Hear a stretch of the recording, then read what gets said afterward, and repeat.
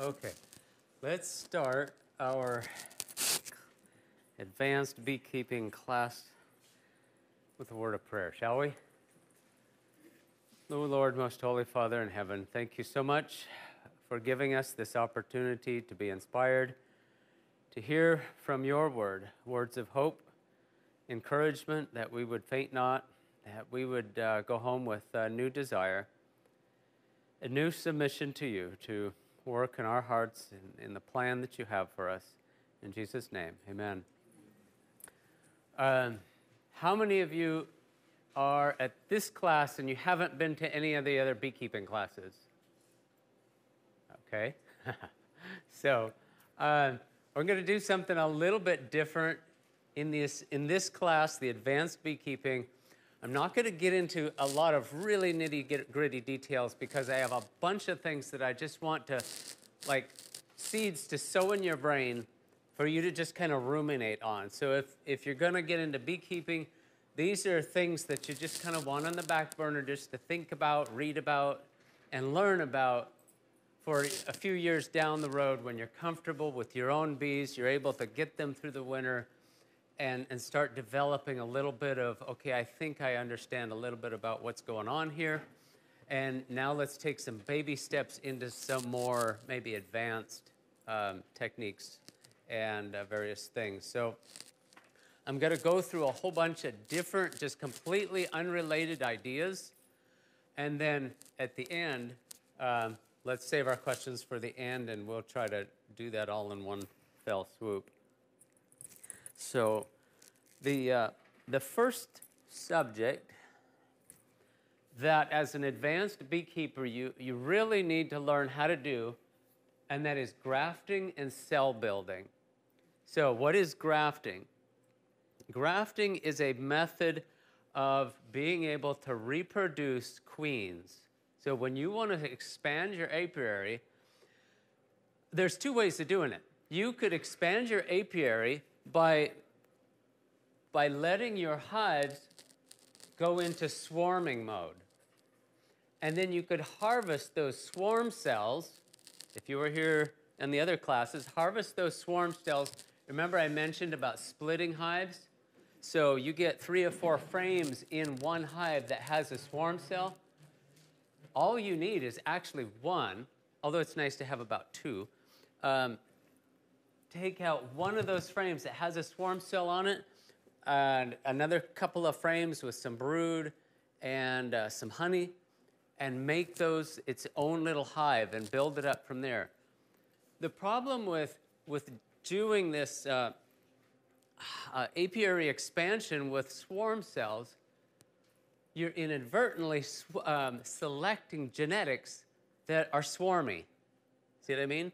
There, there are some races of honeybees that tend to be more swarmy than others. And you don't want your bees all just flying off everywhere all the time. So you kind of want to breed that trait out of them. So you don't, you don't expand your apiary by selecting that that, uh, that process. So, so what we want to look for is as we you know, get a few hives in our apiary, we want to look for especially the one that overwinters well, the one that builds up well, the one that produces well, and it would be nice if it had a nice temperament.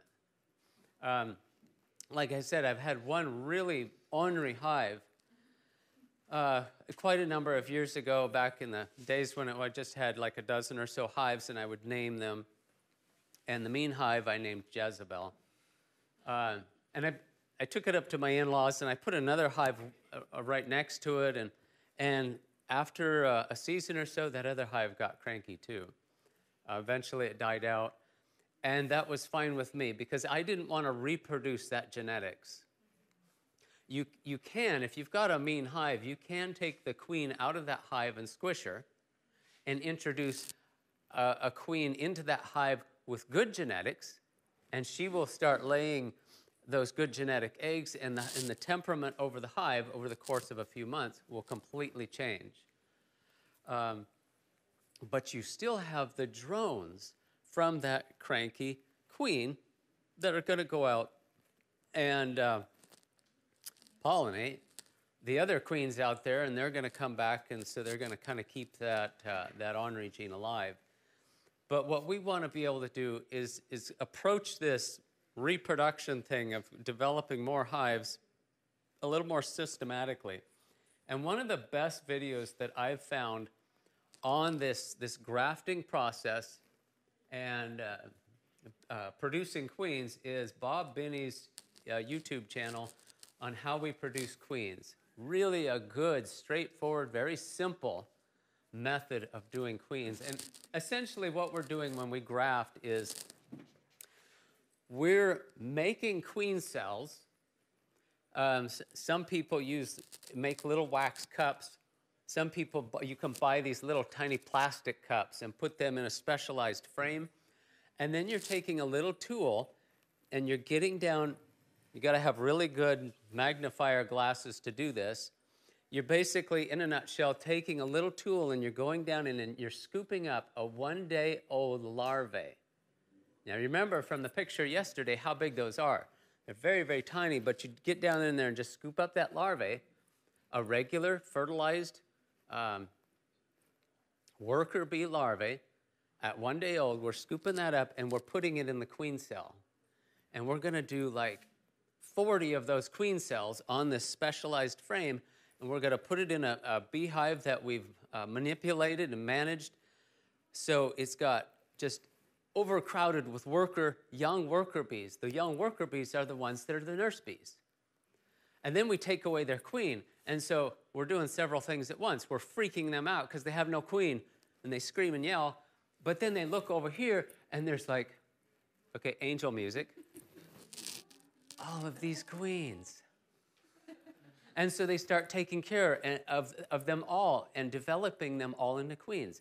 So they will they will feed them a whole bunch of royal jelly, which will develop them into queens, and they'll seal those cells. And when those, seal, those cells are sealed, it's very like clockwork. It's, it's very predictable the time when you, you graft them to the time that they're going to hatch out.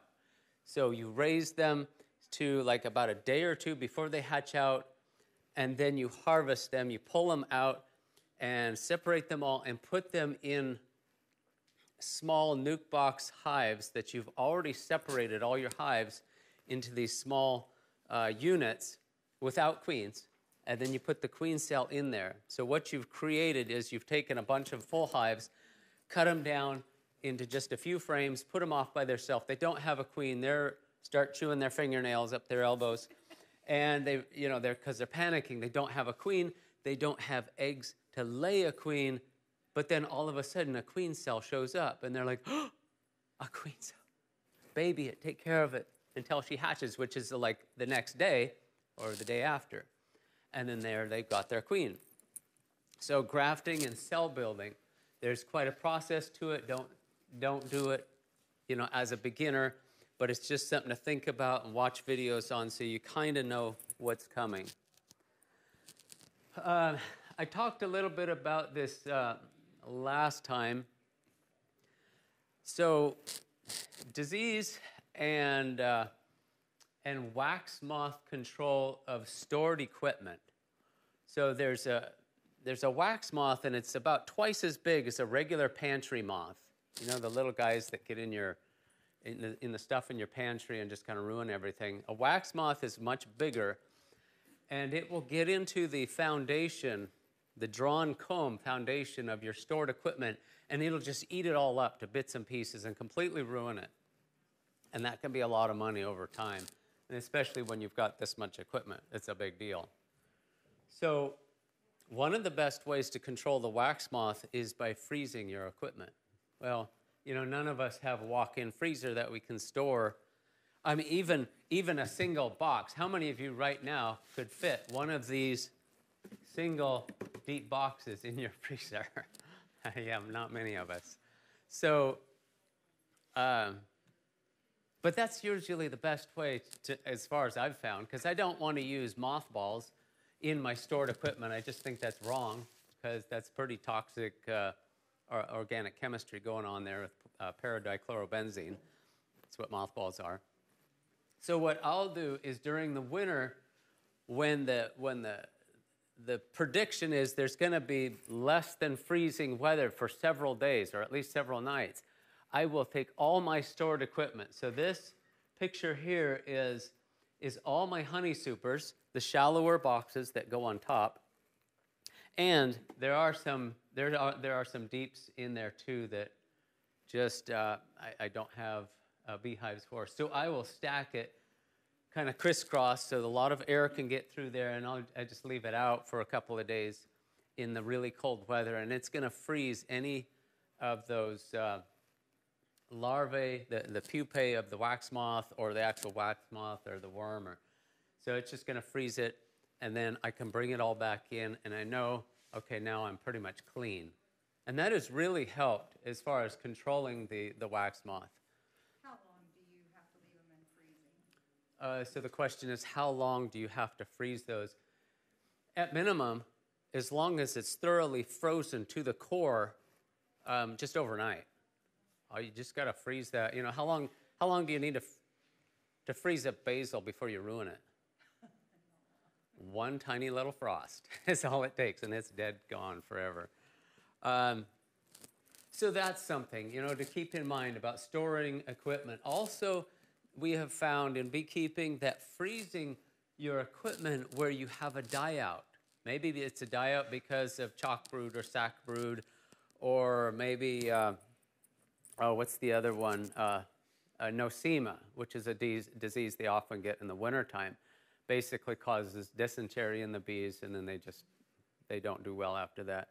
But freezing your equipment for several days often will reduce the, the bacterial load so that when you reuse that, that, uh, that hive, if you may, you may even have to clean up all of the wax, take all the old wax up and put new wax foundation in and bring it back into service to put new bees in it. It helps to have had that, that, uh, that hive frozen for a day or two and it really reduces the disease load. So you can put it back into service and the bees will do okay. They will clean it up inside and go from there.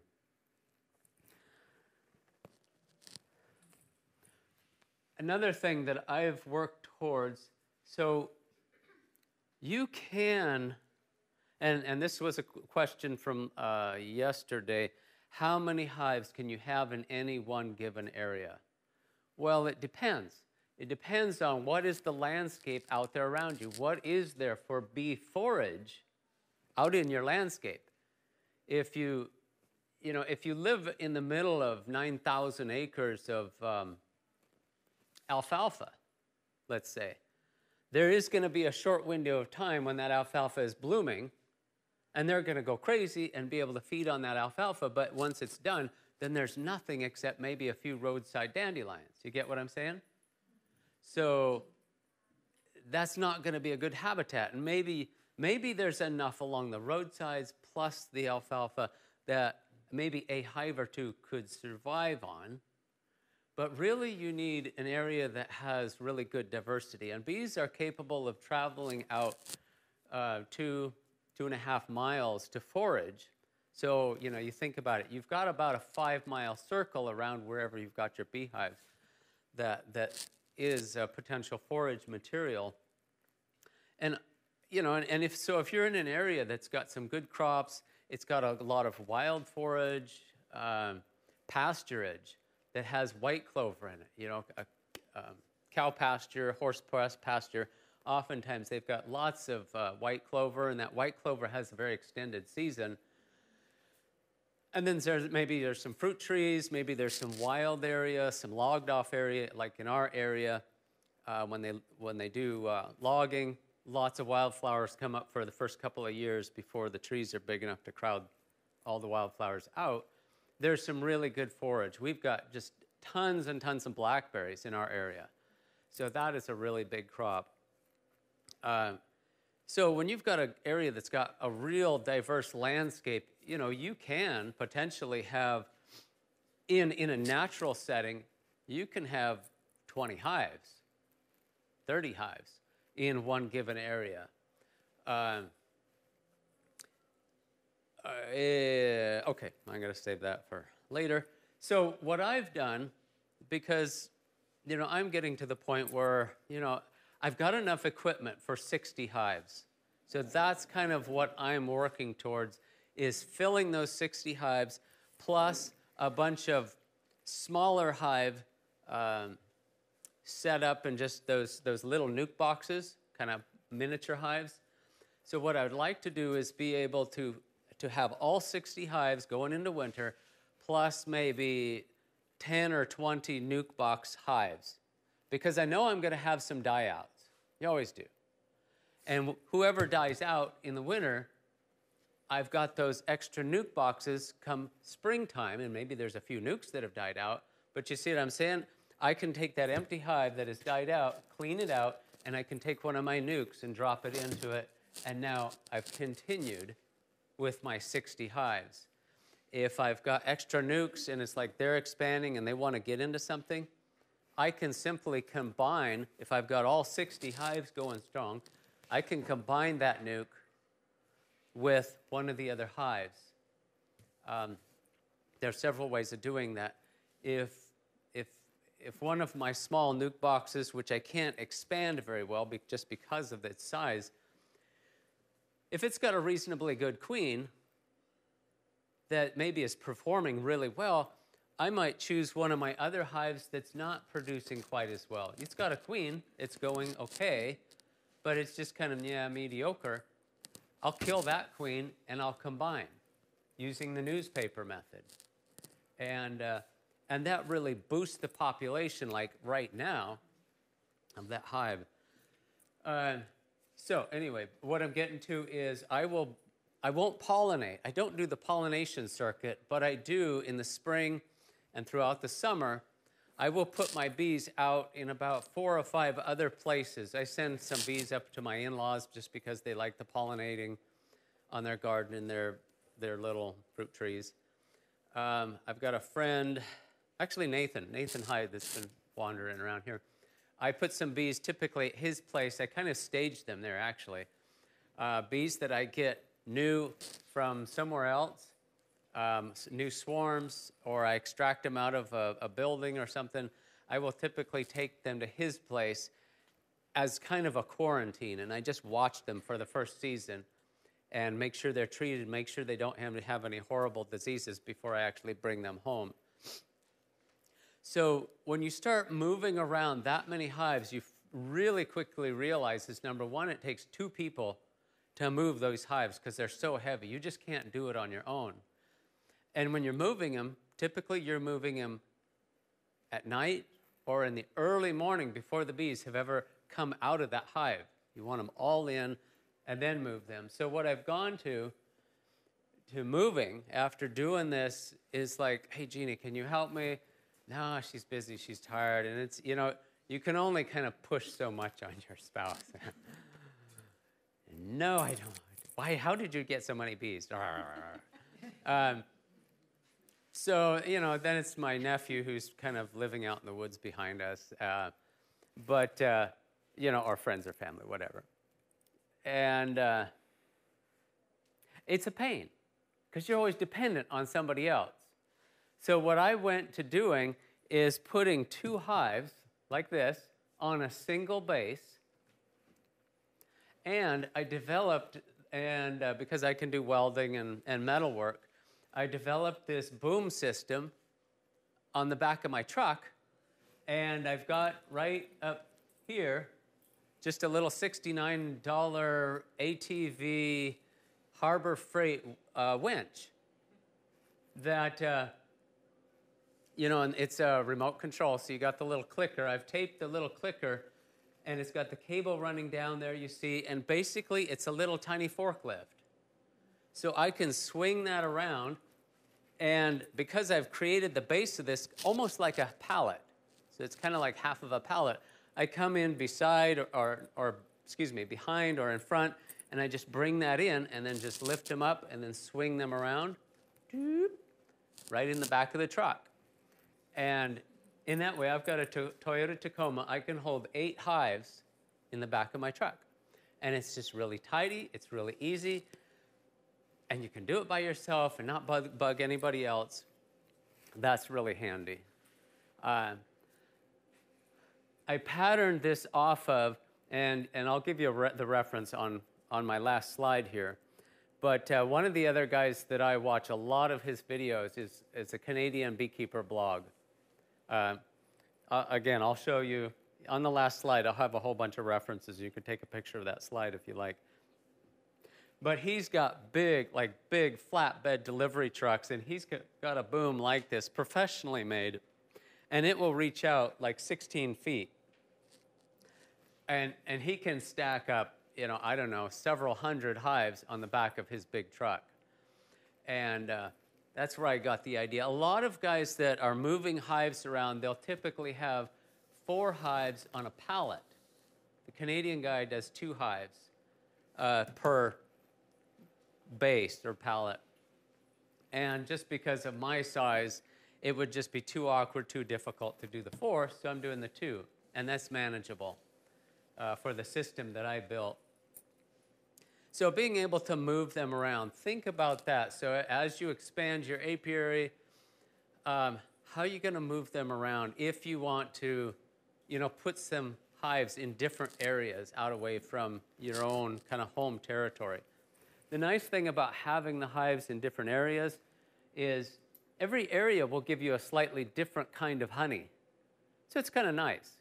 You can, as, you, as a beekeeper, you can become, like I said, connoisseurs of fine honey, keep the different varieties separate, and it's just, you know, something fun to do. So the next subject I want to talk about is making comb honey.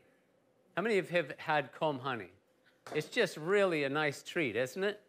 It's nothing you're going to eat like all the time, but good, clean comb honey is not only fun to eat on occasion, but it is also another form of honey to sell at the farmer's market. You've got extracted honey. You, you know, you think about what you can sell. You can sell beeswax, you can sell propolis, you could, royal jellies are really, that's a pain to do. Um, so it's not really a viable crop. But pollen, you can get pollen from your hives, and honey, you can do uh, extracted honey, you can do whipped, or what's called creamed honey. That's a little bit of a technique to learn how to do that. And you can do comb honey.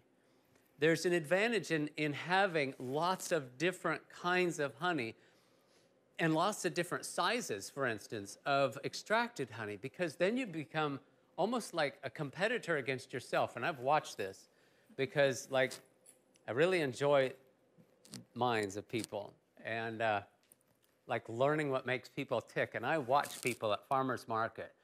Um, are we doing good for time here? Yes. Okay. So, a real quick story. So, there's me and another guy that does farmers market that sell honey. And I watch people. Now, 80% of the clientele of farmers market are male or female? Female. Yes, and a whole bunch, uh, a large percent of them have kids. And there's and there's a whole gradient. There's the there's the the the mom that comes in, she just knows what she wants to get. She comes in and she gets it and she takes it out and then there's the person that's just there to see everything, and sometimes they want to buy a little bit from every farmer uh, just to support the community. And then there's the romantics that come in and they've got the basket, they've got the wick, or wicker or whatever, and, and it's over their arm, and, and, and their country, and they're just, it's, it's just this whole experience they've immersed themselves in. But I watch people. Okay, so they come in, and the other guy, he's at the very end of the, uh, the farmer's market row, and he comes in. He's got quart jars of honey, he's got pint jars of honey, and he's got honey sticks. Okay? Um, 25 cents each or five for a dollar. And when I see the little family come in, what do the kids do? They see the honey sticks and they're like, boom. and they're like, mom, mom, mom, mom, mom, honey sticks. And she's like, okay, here's a few, you know, quarters, go buy some honey sticks. Here's a dollar. That's his draw, okay? The kids are the draw. They bring mom over, and then she says, well, do I want honey? Okay, so I've got quarts and pints there. And, you know, she might buy a quart or a pint. And so I'm watching this and I'm calculating this. And I'm like a leopard in the grass. You're just watching my prey. Because I've got some psychology going here. What I'm doing is I've got honey in quart jars, and I've got honey in quart uh, embossed plastic. It's got the little honeycomb on the jar. Some people like uh, only glass. Some people don't care. They don't care. Um, containers are about the same price, but I'm competing with myself. If you want glass, oh, I've got glass. If you don't care, you want plastic, okay, I've got plastic. I got everything you want. And then I've got like two pound daddy bears. I got 12 ounce mommy bears. I got the two ounce little baby bears. and then I have a one pound container. And then I've got the four inch square comb. And that's, that's, okay, that's a big display, right? And so what happens is mom and the kids are eating their honey sticks and they come down. Mom spies the little two ounce baby bears. And what happens? Aww. and immediately I, the hand is going for the money and she's just walking right over and it's like, come on, I've, I've got you. and then it's, you know, because she wants to buy the little two ounce baby bear for the office, for the purse, or whatever. And it's just cute. It's like a number 10 on the cute. And, and you women are predictable. but now that you're there, it's like it, the question changes from do I want honey or don't I want honey? The question becomes which one do I want? And you see, I've, I've done that purposefully by having lots of different sizes. I don't want your question to be, do I want honey or not? I want it to be, which one do I want? You see the, the fun thing there. Okay, so that was an introdu- introduction to good comb honey. The, the way to produce good comb honey, and there's lots of different methods that are a lot of work, but what I have found is this. You're, you're well into the spring. You see how much stuff is blooming. Everything is blooming. So we're on a good flow. Honey is coming in fast. I will take a good strong hive like this. I've got two deep boxes. I might have a medium, super, or maybe two supers on that. And, and they're just going like gangbusters. They're doing really well. What I'm going to do is I'm going to take the, the mediums and I'm going to loan, I'm going to shake all the bees out of them and I'm going to loan them to a hive that's not doing well. I'm also going to take that top deep, shake all the bees out of it and make sure definitely the queen stays in the bottom box. But I'm going to take that deep, top deep box that's got lots of brood in it and honey and I'm also going to loan that to a weak hive so that it's just brood. That weak hive is going to go up in there and take care of all that brood, and whoever hatches out becomes theirs. So I'm, I'm loaning that for a while, a few weeks, to another hive that needs to be boosted. So now what have I done is I've just shaken an entire population into one deep box. And as you can see, how well does it fit? I mean, it's packed. Now, the, the danger is that is ripe for swarming. Yeah. It's like they're going to say, it's a bit crowded here, we need to go. um, but you're only going to do this for like two weeks. So it usually works. I'm going to I'm going to bring it all down to that. And then I'm going to carefully put in a queen excluder. And then on top the queen excluder, I'm going to put one or two shallow boxes. These are really short boxes. And instead of having that wired wax foundation in the, in the frames, it's very, very thin. Uh, not paper thin, but very, very thin, delicate wax in those shallow frames. Because what they're going to do is they're, with that many bees on a flow, they're going to just be forced up through the, the queen excluder and get into those boxes of foundation and they're going to just fill that up and they could they could fill those two boxes in 2 weeks. I mean, they'll just get on it. And really good comb honey has made fast and then taken off quickly before they track a bunch of dirt and uh, debris on it. So what you what you want to see as a product is nice, clean, white.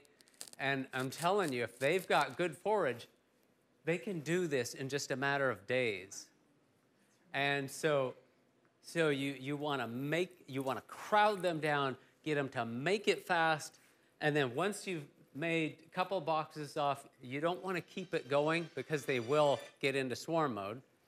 So once you, your two boxes or one box is full, pull it off and then take what you loaned out, shake all the bees out of that loaned equipment and bring it back. Put the original colony all back together, the, the mediums back on there, and let them just go ahead and coast on through the summer, you know, bringing in their honey from different other sources. And uh, you've given a lot of room, and so that they're like, oh, okay, it's not crowded so bad anymore. We can relax, we can not get into swarm mode. And uh, so you, you see what I'm saying? It's, it's a timing thing. You don't want to push them hard for weeks and weeks and weeks and weeks on end, because then they will want to swarm, and then you're going to be fussing and fighting with swarm urge. You just want to get in there, crowd them, make them produce this stuff real quick, pull it off, and then put it all back together and, and let them slow down. Do you do this at a particular time of year? Uh, so, do I do this in a particular time of year? I want to do it on a good flow. So, uh, it just depends on where I'm at. So, when you'll get to know when when the bees are on a good flow. Number one, one thing you'll see is a lot of activity. Number two, you're going to start seeing as you go through your hives or your frames, you're going to start seeing all of a sudden there's like they're bringing in a lot of nectar. They're drying down a lot of nectar. Another thing that you're going to notice on a good flow is looking down between the uh, between the frames. You will see like they're putting white, fresh white wax everywhere. And when they start laying down a lot of wax and start building that comb out real fast, you know, okay, there's a lot of stuff coming in. Because uh, they're really getting urgent about putting it somewhere. And so they go into hyperactivity mode, building comb and wax. So you'll look down in and you'll see, you'll see a lot of white burr comb, and, and between the frames, there's a lot of wax buildup, and it's like, ooh, they're busy. Um, make sure you stay ahead of that and put extra boxes on.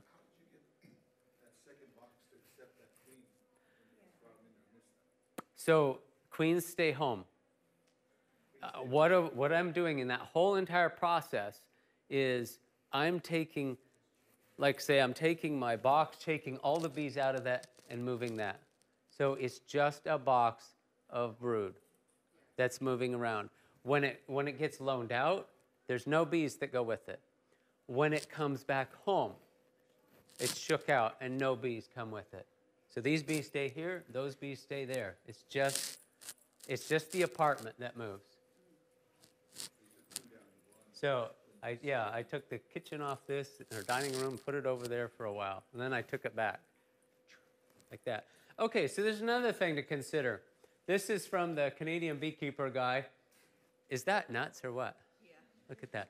Okay, so I was telling you yesterday about it's not unreasonable on a good, well managed strong hive to get three of those mediums. That's about 100 pounds of honey. He's running all deep equipment um, because he's got that lift. No, nobody lifts this stuff. He's using a lift. And um, he's also farming. And so he's got like 500 acres of canola right next to these bees. And so there's unlimited forage. So the point that I'm getting at with these two slides is there comes a point in time where you realize I can only get so much out of the natural landscape. If you really want to go into high production mode, excuse me, uh, you're going to have to start thinking about planting um, different crops to feed your bees. When you have your own control of crop forage for your bees, now you can really jack up the production. These hives, the way they're sitting right now, there's 300 pounds of surplus honey in each one of those hives. Now do the math. 300 pounds. Okay, a thousand pounds on every three hives that you see there. That's, yeah, that's cool. um, that's just amazing. And so what they're what they're what they've done is these little uh, you see these little spacers in here. So those are are um, bee escapes. They only let the bees go down. So what they've done is this stack of four boxes was sitting on top of that that bottom box. These are all full of canola honey. So what they did is they took their lift, they pulled it up, they put these two empty boxes on, they put this, uh, this escape in, and they left it like that for two or three days. And all the bees up here are going down in to the, the bottom part of the hive, and they're going to go crazy to fill these two boxes here that are empty. The queen is down here working in that bottom blue box, and then they're going to come back with their trucks in a couple of days and they're going to strip all of these top four boxes off and take them into the, uh, uh, you know, their extraction process. It's going to take a couple of weeks. When this is right beside them, it's just going to, again, just take a few weeks. And they're going to fill up those bottom two boxes. Those are going to get stripped off. And in the end, he overwinters his bees in single deeps, just like this. You watch his videos he'll actually take all of his hives. He's running about 1,500 hives, but uh, he brings them all in to a shed and basically keeps them in the freezer from November to March. It's dark, it's cold, they don't get out, they just sit there mm, and do nothing for the winter. And he's got his rationale for doing that. It's, you know, it's, you don't have to do that, but but the idea is start looking at various cover crops. The clovers are usually a long season crop. There's a plant called Phacelia. He's got actually several videos where he does just of this kind of cover crop area that he does, in addition to his, uh, his canola that they grow uh, for the oil.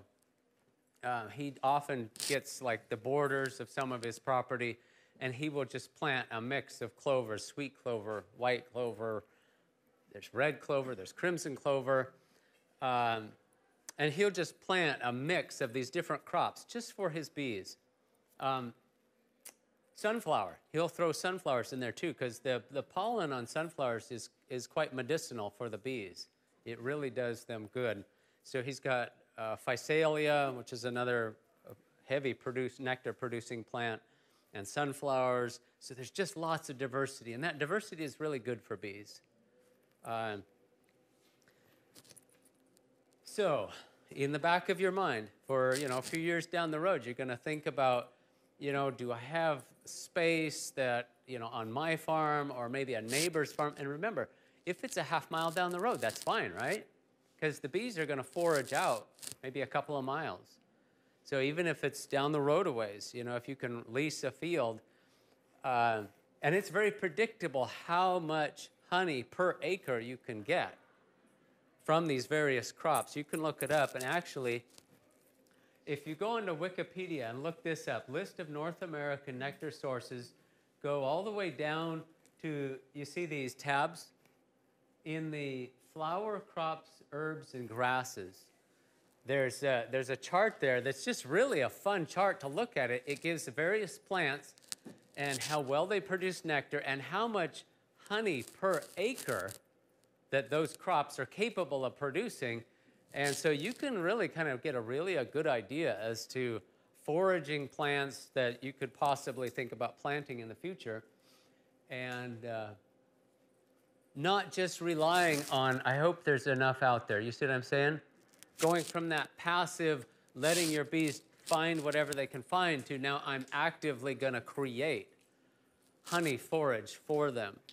So that's a little bit more proactive. That's uh, something that you really want to want to be able to look towards.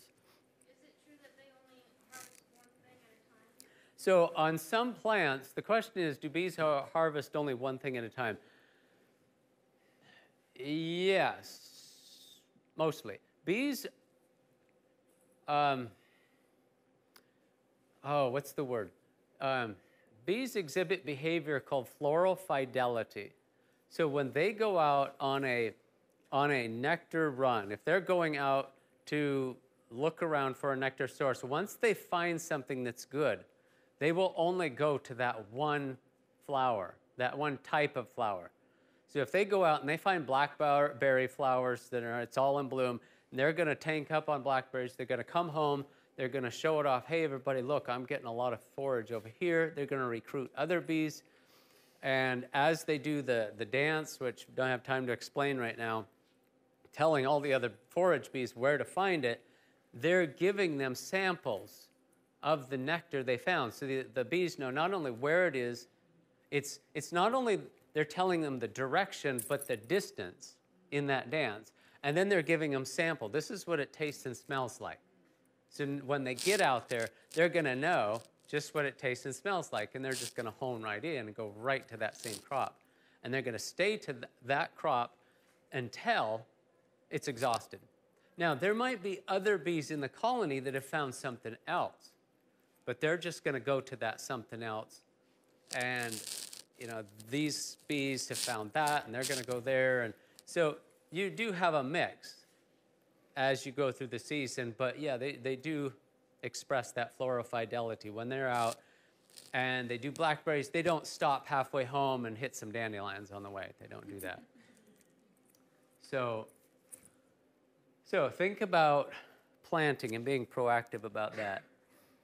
Um, this is a really good site to become familiar with called scientificbeekeeping.com. Uh, this fellow here, his name is Randy Oliver. He's a very big name in honeybee research, and he lives just north of here, up in the hills of California. Uh, he has done a tremendous amount of research on, on mite control He's developing a new method of mite control using oxalic acid soaked in shop towels. Um, so he's still developing it, and he's also working with the FDA to get that as a, an approved method. Once he gets it honed down and, and really effective, um, he's going to get certifications that the FDA will allow beekeepers to use oxalic acid in the form of a soaked shop towel um, but a lot of other research that he does. It's really good academic reading um, on that site, Scientific Beekeeping. Lots of good information there. Another subject I want to talk about, maybe that's a little more advanced, is not just, again, being passive and waiting around for somebody to call you, hey, I've got a swarm in my front yard. And so, okay, so you're going to go and, and take that swarm and drop it into your box if you got extra boxes sitting around, let's go trapping for bees. So, what we can do is um, we can take our empty hive, spray a little bit of sugar water in it. That's not so, that's not so important, but, but a little bit of lemongrass essential oil, like two or three drops spread around inside the hive. They really like that smell. And uh, and then take your your boxes out, whether it's a nuc box or like I, I told you guys yesterday, for a while I was making homemade boxes out of three, uh, 3 eighths plywood and 1 by 2s. I'm getting those all out of my, my production hives because they won't fit on these double bases, and I'm turning those into swarm traps. So I've got about 30 or so of these little nucs, and I'll have about 30 of, of those homemade boxes that I'll drop frames into. And you see the little hole in the front of the box there, and I've set it up on a root wad.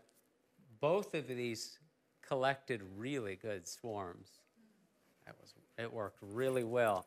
But what you're going to do on the swarm trapping for really good uh, success is use old comb that old comb that's been drawn out and it's starting to darken up because they've used it so much, it just smells, and bees can smell that stuff a mile away.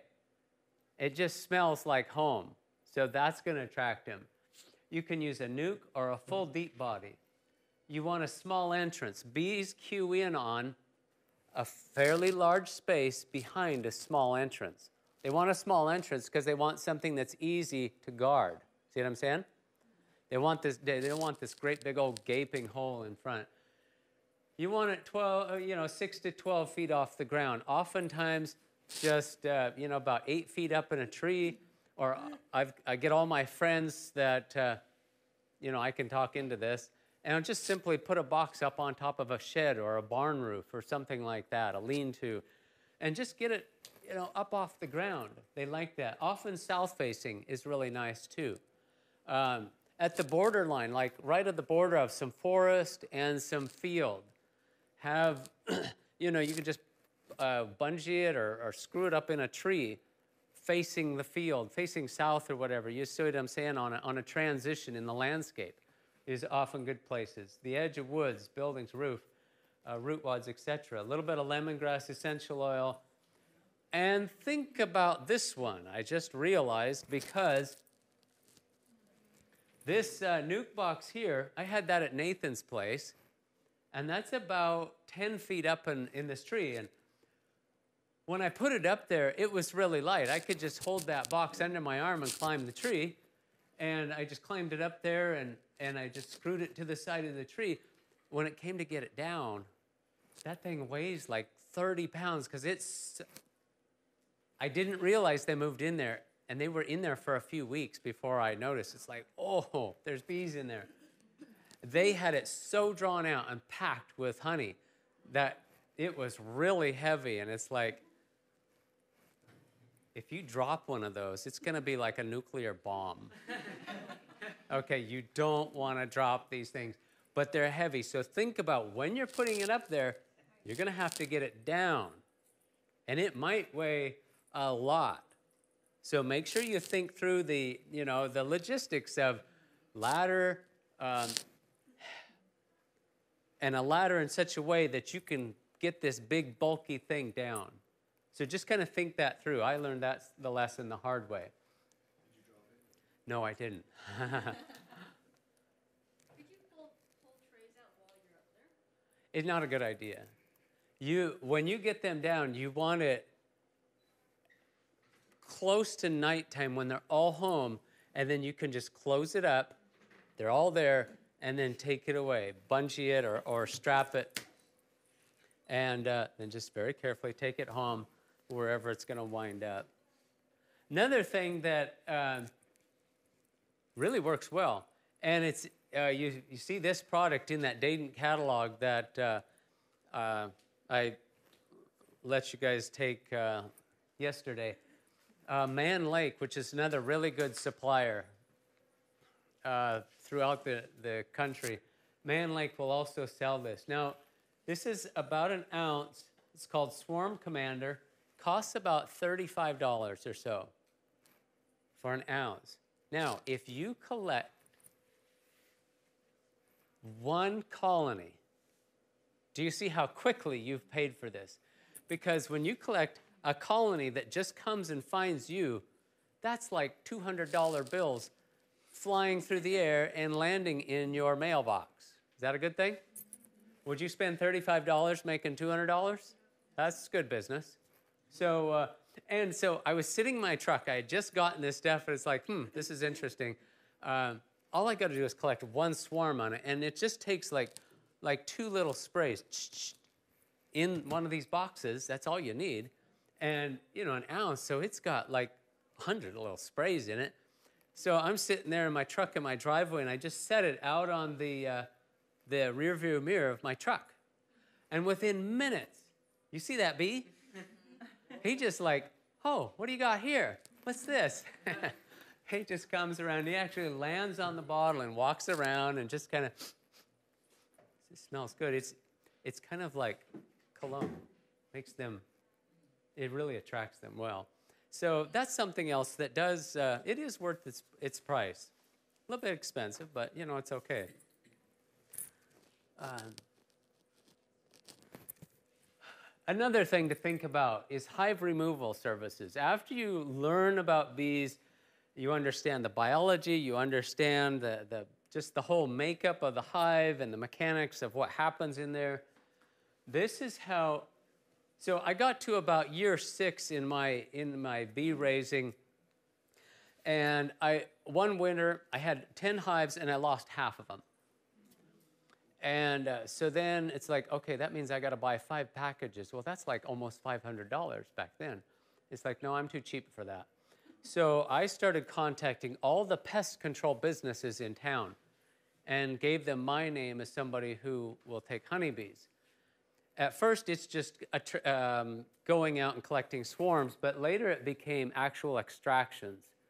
Now, this is not for everybody, but if you have the ability to understand construction and like what's going on behind that wall, you got to have a concept of plumbing. You need to have a little bit of an understanding of wiring so that when it comes to the point where you need to cut open a wall, you're not going to be like cutting into wires and stuff like that. You really kind of have to understand how things are made.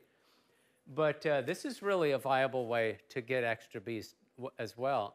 And what makes this kind of fun is number one, every one of them is different, so it's an adventure. Number two, you get paid three ways. The people will pay you to get, the, you know, because it's a service to them. So, so they pay me to get rid of the bees. Number two, I get the bees, and if I take care of them responsibly and efficiently, those bees will give me a honey crop the next year. So I've got to keep them alive, so that's on me. And then the other thing, too, is primarily what I'm doing is only taking the brood out of this wall and putting it in my hive. Um, all of the surplus honey that's in that wall gets put in a bucket and brought home and squeezed out, extracted, put in jars, and sold at the next farmer's market. So I'm selling the honey, I'm getting the bees, which produce um, you know, an income on their own, and then somebody's paying me to do all that. So that's really a nice thing to do. Um, one of the best guys out there, he's just a really fun guy to watch, is JP the Bee Man. He lives down in Alabama. Um, Alabama or uh, Alabama? Louisiana, I think. Anyway, he's down south, and that is kind of his business. He's got gobs and gobs of videos on YouTube of extracting bees out of just about everything you could possibly extract a bee out of. And believe me, these bees will find the craziest, craziest places to get into. I mean, a hole like this big. It's like, how do you guys find that? And get up into the eaves of a house that has a soffit and it's just a, a little hole and a big empty space behind it. And that's what they want. So they'll get in there, and, and of course, people freak out and panic and call me. Do you offer the repair after you get them out? So, okay, so do I offer the repair? Okay, I try to go into this situation with the with the with the knowledge of I'm the beekeeper. I'm here to solve your beekeeping problem. I will open up and clean out. Now, with all that bee smell in there, I will guarantee you, customer, that there will be more bees very shortly that will want to come back into here. So it's your job to find a, you know, a carpenter or somebody who will, who will fill that void with insulation or something because I'm going to scrape out every bit of comb and wax that I can because I'm also getting a whole surplus crop of beeswax too, right? So that's actually a fourth product that I'm getting out of this deal. But I try to set it up where I'm going in, I'm opening and getting the bees. And it's your job to find somebody to repair and close up. There are some older people, some people that just don't have the capacity to deal with, with that. And I'm like, okay, you know, for an hourly wage, I will close it all up and deal with it. But I try not to do that. Um, just because I'm so busy doing other stuff, I, you know, I just want to skim off the bees and uh, deal with the bees. But he's, this guy's got some really fun videos on, on extracting bees. And uh, so he's, he's fun to watch. Um, how are we doing for time? When does this, when does this class end? In how many minutes? You're saying three? Well, okay, so what, what's, 10, 15. Okay, so just a couple of minutes. Perfect. Okay, so here are a list of some of the guys, uh, some of the uh, people that I'll watch on YouTube. Um, the Canadian beekeeper, I watch him all the time. I'm subscribed to him. JP the Bee Man is is more just really fun watching, but you will learn stuff about every case that he gets into is just totally different. Now, how am I going to get the bees out of this one? And so you start learning about how to approach these problems on, on extracting. Bob Binnie is another commercial, uh, commercial beekeeper, very soft-spoken man, but just profound knowledge. And the way he does things is so simple. He's just fun to listen to, but he's, he's like the Canadian guy. He's running several thousand hives. Um, 628 Dirt Rooster, he's kind of a fun guy. Look up 625 Dirt Rooster, biggest swarm in the world, or something like that. Um, he this is crazy. He collected a swarm that was just right next to a whole commercial operation, and the swarm was literally about like as big around as you three ladies to me, wow. hanging in a tree. I mean, it now, this did not all come out of one hive. What happens is you'll get a swarm in a, near a commercial yard where there's like hundreds and hundreds of hives. You'll get a swarm that leaves. And because there's so many thousands of bees flying around, they will all like, they're coming home with a load of whatever, and it's like, a queen. Where are we going? And so it will become a super swarm and it will mass in this gigantic things. And sometimes there will be two queens in there, uh, a virgin queen, an older queen. But anyway, so he and his buddies, they took their pickup truck and had two deeps, entire the back end of his truck, two deeps, and they put a, a queen cage. Uh, you know, they just happened to have like like 30 queens. They put a queen in every one of those boxes, and then they brought it underneath they threw a rope over and they shook this whole entire ball of like 100 pounds of bees just down onto the truck. And it was kind of a fun video. But he's got a lot of interesting stuff. Michael Palmer, he's in the East Coast.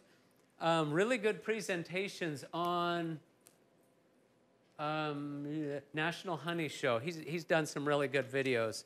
So look up Michael Palmer. He's got some really neat stuff. Randy Oliver, I told you about, uh, scientificbeekeeping.com.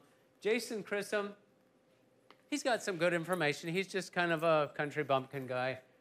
Uh, Barnyard Bees, uh, the guy who does Barnyard, I can't remember his name, but he does a lot of production. He makes a lot of queens and nucs, and he sells nucs. Devan Rawn, he's kind of a he's kind of a country living type guy.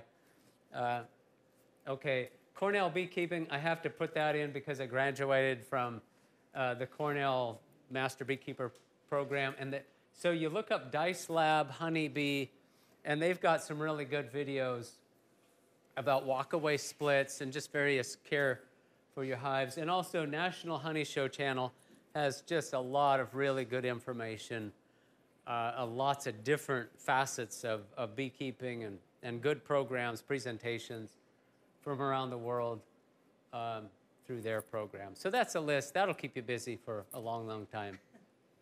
So let me, I know it's, it's in between class time, but uh, there's one difference on this hive as I've got it set up here. So you notice what I've done here is I've stapled little straps on either side of this, this base, so that I can bund so I can strap this down and move it without it falling apart. My lids you notice these aren't the regular telescoping lids. These are what are called migratory lids. They're, they drop over the front and back, but not the sides because they're, they're side by side, right this, right? And then if you also notice, this has got that plug that I was talking to you about. So that's how I feed. When I'm not feeding, I keep this plug in, and they will propolis it and seal it off, but when I need to feed, just pop this out, put the bucket on, the other thing that's different about this lid is it's got a spacer around so it doesn't sit flat against the bottom. And then instead of a wood inner cover, I've got a foamy, what we call foamy. It's just this foam thing. And that really does insulate the bees quite well. So I've got that on there, and it's way cheap. This is like 50 cents if you buy a whole roll of it, um, versus spending 10 $12 on a, a wood inner cover. That just becomes really handy, easy to do that. It's simple, and it's a more manageable package as somebody who's got a lot of bees. Do you do that for winter storage? So, so yes, I, I winter store like this as well. And then, of course, I, I do do two different colors on the entrance. So, you know, blue bees, which are this side, really cue in on the blue. And, you know, if they're thinking, okay, I'm a, I'm a blue home bee, it's, it's a lot harder for them to walk into the yellow side because they are close together. So they kind of separate themselves So that do you- way. Do you keep your bees like that or in general, or that's for transportation only? No, this is this is what all of my bees are going into now. So all of my hives are in pairs, and and this is the way I'm doing pretty much everything now. I've come to this point. Yes. Do you use that piece of insulation stuff for the summertime too, or is it? Yeah, it's always in there. So that yeah, that inner cover is always there. Yeah, yeah. So I thank you for coming, and uh, These are particular size are they the standard size? These are the standard size Langstroth hives. So, you know, and again, uh, in, in the summertime, I've built up, I've got the two deeps, and then I've got the, the mediums, honey supers up here. So, you know, it'll just be two hives side by side. You said when you, you re-wax your foundations, Mm-hmm. do you use your own wax? Yes, I do. Okay. It's, uh, when you extract, you, you get a lot of very clean wax that you melt down, um, s- run it through a cheesecloth or something to extract all the little gritties out of there, and, and uh, it just becomes a real nice source for beeswax. Will freezing your hives uh, also take care of foul brood disease? Foul brood, no. A foul brood is something totally different. I mean, that's a subject in and of itself, so just do a lot of reading on foul brood. It's not that common, but know how to deal with it when it, you do get it. So. So, at one point in time I did, but I'm getting away from homemade stuff just because the tolerances, the spaces are all very particular. So I just, you know, I get commercially made equipment. Let them do the fuss. How much honey do they need in the hive to survive the winter? Um, for where I live, 30 or 40, no, no, more, more than that. 40, 50 pounds, 40 to 60 pounds. I'd like to see the 60 pound. Um, more than less, but uh, okay. Um, where do you get that silvery stuff? Home Depot. Yeah.